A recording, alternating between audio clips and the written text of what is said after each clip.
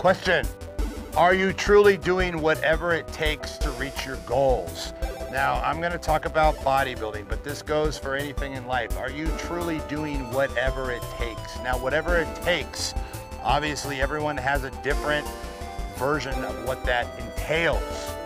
Now, as far as bodybuilding goes, whatever it takes, I would say, are you eating eight to 10 meals a day? Are you? Answer probably to 90% of the people out there is no, I'm not eating that much, okay? Are you training twice a day? Are you working out three to four hours a day? 90% of the people out there are gonna say, no, I'm not working out that much. Are you doing cardio? No, I don't have time to do cardio. 90% of the people will say. Now, whatever it takes, when you look and you see the guys on the Olympia stage, it's very easy to say, oh, they're taking steroids. They're taking more drugs than me. That's why they're up on the Olympia. No, motherfucker. They're working harder. Give people credit where credit is due. They are working harder than you. They have been doing it longer than you. They are willing to do whatever it takes. Now, yes, they take steroids. Of course they do. But give credit where credit is due. These guys are training like maniacs. They're eating like maniacs. They're on the step mill for an hour a day, some of them two hours a day. Have you ever ridden the step mill? Get on that motherfucker and ride it for an hour straight, and you'll see what I'm talking about. It kicks your fucking ass. Eating eight to 10 times a day is hard. And of course, we can always, oh, I don't have time to eat that much. You know, I, I work and this and then, well, then you're not doing whatever it takes. And you know, it's just, if you, if you have a goal in mind and you want to achieve that goal, you have to be willing to do whatever it takes. And if you're not, you're never going to reach that goal. You're going to be the guy sitting on the couch saying, oh, they're taking steroids. That's why. They're taking more steroids than me. The only reason they're better than me is because they're taking more steroids. And that makes you feel better. You feel okay about yourself now because you're saying to yourself that you work just as hard as them. They're only better because they're taking drugs or they're taking more drugs. Guess what? Wrong. Wrong. They're working harder. Admit that shit. Admit that you're not willing to do whatever it takes. You're not willing to do that. You're not going to work out for three or four hours. You're not going to eat eight to 10 meals a day. You're not going to get on the step mill, even in the off season, and fucking get on there and fucking go to work for an hour. Now, oh yeah, but the step mill, you know, when you do cardio in the off season, it burns. No, it doesn't burn muscle. That's an excuse so your lazy ass doesn't have to fucking do the step mill. You know what I'm saying? Man up. If you're not willing to do what it takes, at least be willing to fucking admit it. it drives me fucking crazy when people take credit away from people that are truly working their asses off.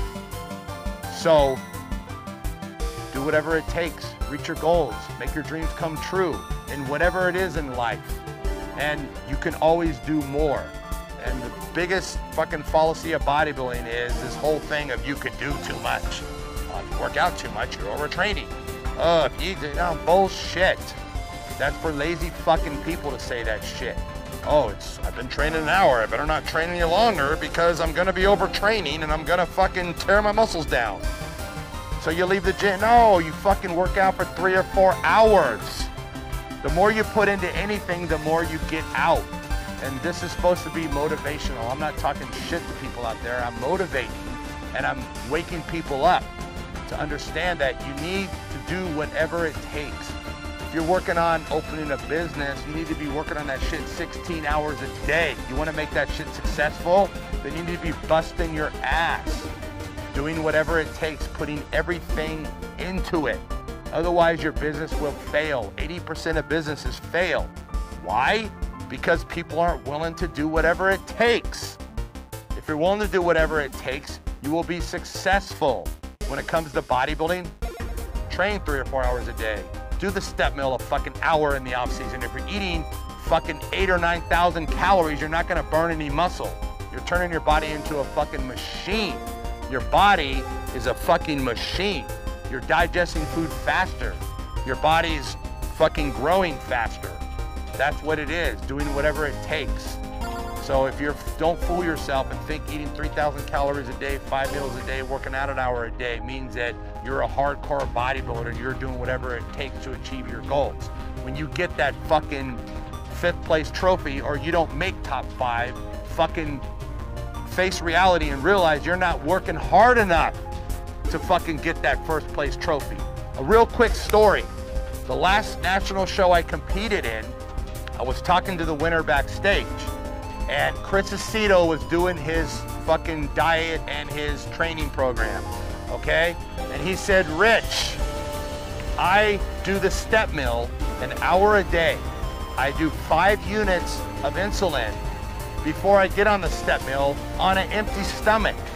And I do it for an hour, okay? I do that twice a day.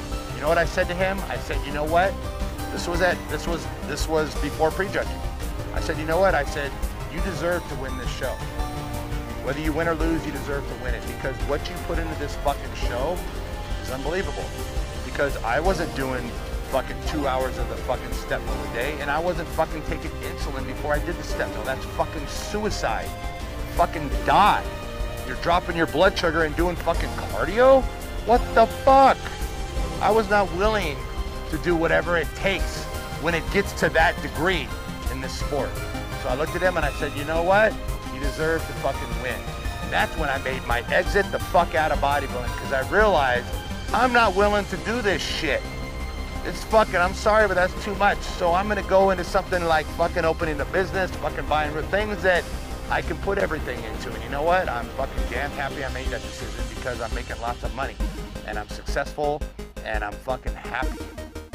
Anyway, I hope this helps.